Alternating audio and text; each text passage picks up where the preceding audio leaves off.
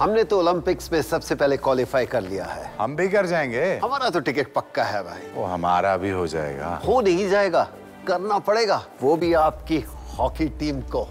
ओहो पाजी उम्मीदें भी बाकी हैं। बस अब तो जीतना है। पता चल जाएगा 26 जून को हमारी टीम खेलेगी देश के लिए। Intro hockey world league semifinal India versus Pakistan 26 जून शाम साढ़े सात बजे लाइव स्टार स्पोर्ट्स नेटवर्क पर।